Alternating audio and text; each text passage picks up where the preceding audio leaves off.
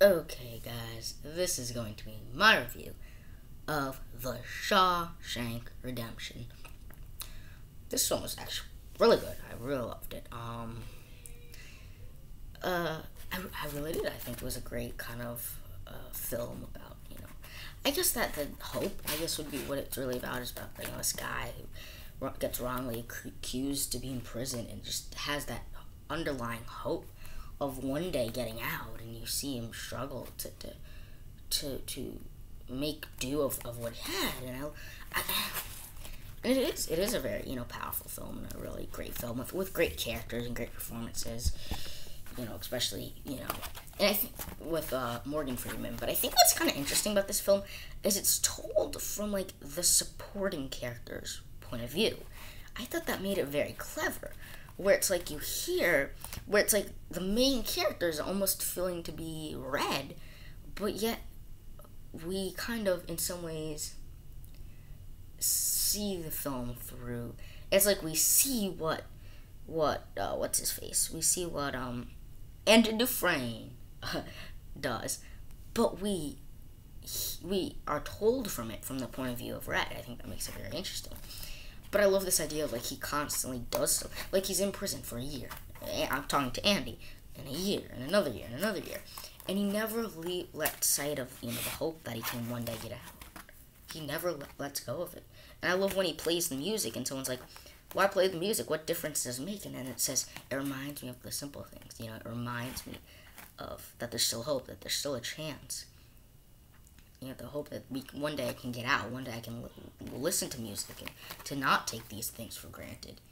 Um, and, and, and people mock him about you know feeling that that that, that um uh, that that soothing music brings you know them hope. But then they show early in the film when he's playing music, you just see all of the people almost smiling. All the you know he tries to create a library and he's doing all this for as a in his personal character, but also get goodwill from the cops to hopefully, you know, put him on parole. And as he constantly tries and tries and tries again, demonstrating the hope. And I think this could be made to the parallel of like a Rudy that I just watched, where like he's, you know, he's hope, you know, um, Rudy's hoping to get on the Notre Dame, you know, football team, right?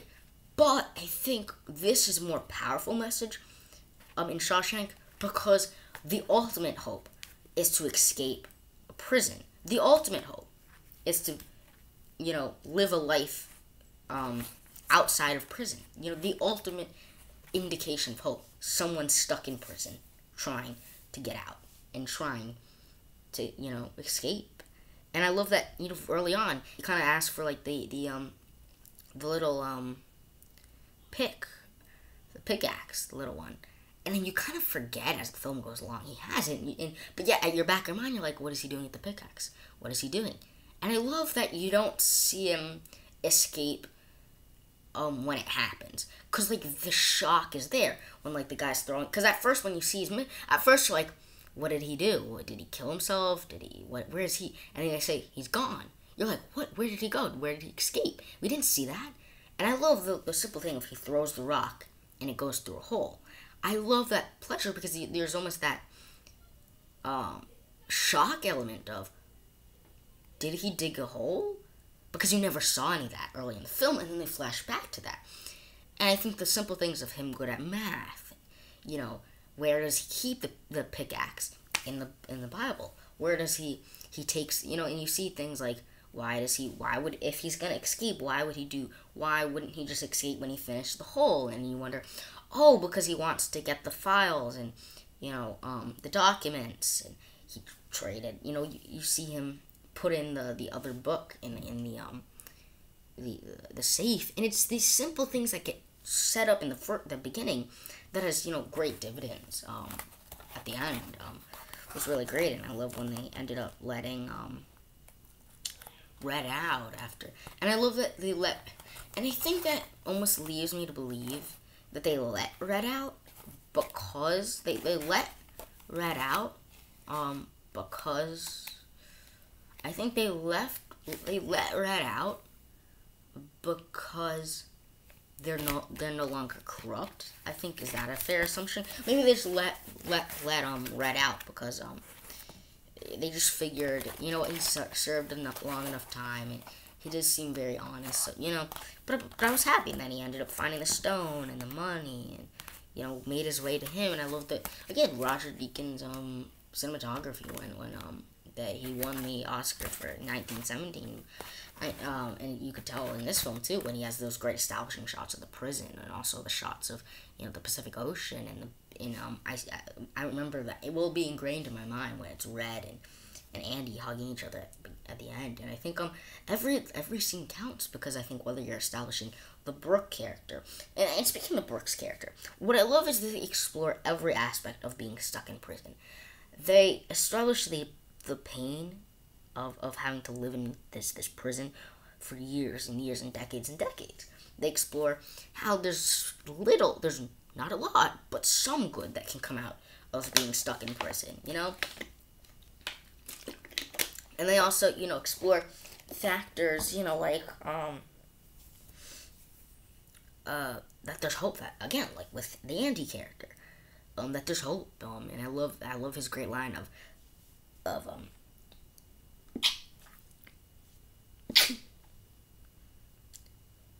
either, um, oh shoot, either um, you know, and I think um, and with the Brooks character, you know, with uh, um, uh, with the you know the Brooks character, um, when he um, you know, kills himself, you you you see that pain of you when you're there for decades and decades and decades, that the pain is there.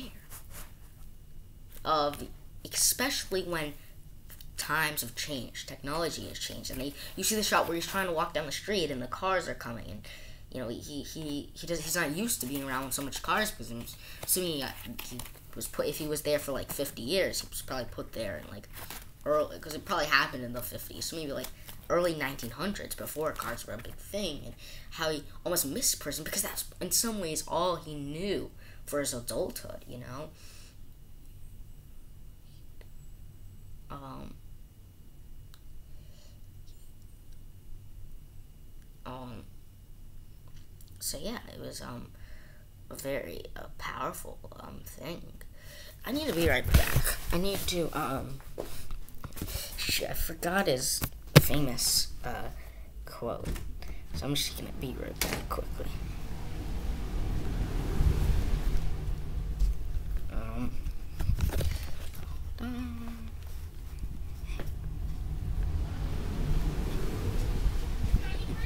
Um, so, um,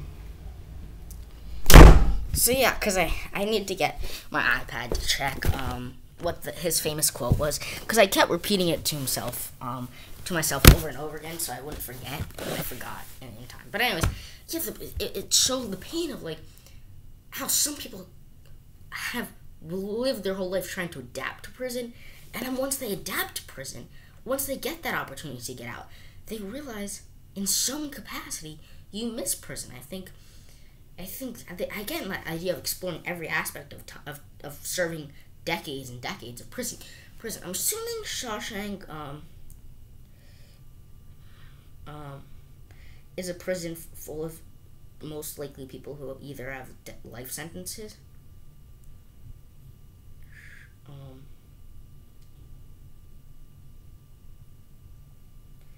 Um, so um, it is. Uh, yeah, I'm assuming that's kind of like what. Gosh, of horrible internet. But I'm assuming it, it's it's kind of meant in a way of kind of demonstrating. Um, uh, it's either it's um. It's demonstrating a way that um. Oh oh yes you either get busy living or get busy dying. So, so, such great. There ain't no day that goes by without feeling regret. I, I love those lines. These quotes are so great. And, you know, the, that the literally embodiment of hope comes from you either get busy living or get busy dying. Um, with, with, you know, Andy Dufresne's character. And I love that it's, that you, he kind of seems like he's trying to really adapt but he struggles because every time he feels like okay I'm, I'm doing good. Something gets knocked down, and I love when he figures out. Um, I love when he figures out that, you know, one of the people in prison, the guy with the long uh, uh, sideburns, was in prison with the guy who probably killed um, who probably killed um, um his wife and, and lover and the wife and her level her lover. When that happens and then he goes to try to see if he can get out to go have another court trial and then the the, the um, person overseeing the prison says no i think that and he instead puts him in you know even more maximum security cell whatever I, I love how that even lights the fuel under the fire even more. And if that wasn't enough, the death of the guy who he had befriended, the guy with the long sideburns, who told him about about um the whole person who killed who probably did kill commit the crime that, that Andy was accused of, that lit the fire even more.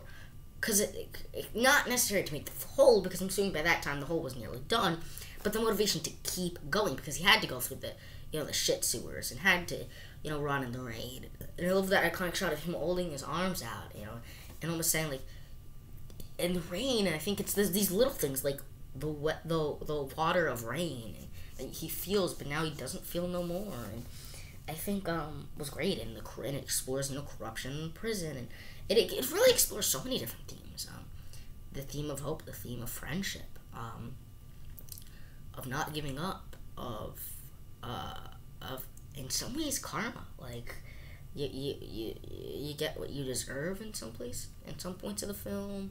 So I think a lot of great themes were, were shown, and I think because this film was two two hours twenty two minutes, they're able to really not have to shy away, or not shy away, but they are really able to explore every little detail and explore big highlight moments throughout Andy and Red's time in prison, and you explore their friendship.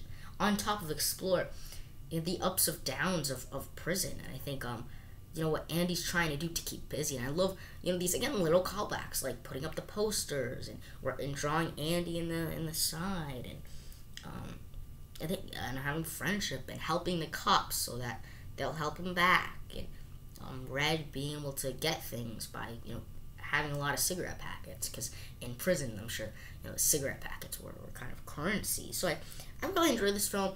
You know, I think many people think this should this film should have won the Oscar over Forrest Gump in 1995. I it's close. It's close. I I, I wouldn't have cared no matter what. I'm not. I don't. You know what? I'm glad that Forrest Gump won. I think for me, it's a, it's hard to say which film is better. I mean, they're different, but I, they're very different. Um, but I, I, I just enjoy Forrest Gump more. But I wouldn't have cared if it if it figured out that Shawshank won. I didn't care no. So to me, I thought the, the thing is they're both great films. Like if you didn't like Forrest Gump, obviously then you might be sad that Shawshank didn't win. But for me, because those two films are, I love Shawshank and I love um, Forrest Gump, so I didn't care that Forrest Gump won. Won and nor did would I have cared. I would have. I'm glad Forrest Gump won because, in my opinion, I think it's a better film. But there's no real comparing and whatnot. I think a little thing about this film was like, okay, so uh, Andy was there for what, like 30 years, 40 years? When I think it was like maybe like 40 years, 30 years, but he didn't age a day. And even more evident is um Red, Morgan Freeman's character who didn't age a day either. Like he, like you're telling me he was there for thirty years. Like there was like that big, like when you see his um close up of his mugshot, it looks like he aged a lot. So like there might be an age, big age gap between year one and year ten, but like, gosh, like he didn't age at all, and I feel like they didn't even care to try to make it even seem remotely like he aged. But again, the character's great, the cast is great, the performances are great um such a satisfying ending. Um, like like not even kidding. Like you know to become prison friends, to be able to hang out on the beach and, and enjoy the simple life. And I love when he said when he at when um Red asked um he was working at a grocery store and he asked his um employer if he can go pee and it's this again like I love how they can demonstrate how how he that you start to really take for granted the little things. And he's like, "Don't ask me again," and you know, you, you um, I think I I love that they explore every aspect of what it would be like to live in prison.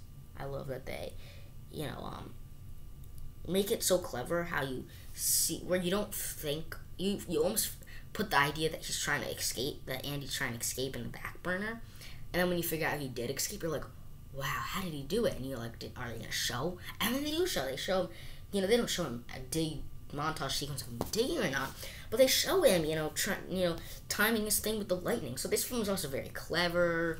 It's motivating. It's satisfying. It's heartwarming, warming, whatever. Great cast, great performances, memorable, great quotes. So really enjoy this film. Uh, I'm not gonna give it, you know, rating or anything, but you know, really great film. Stay tuned for more videos coming at you.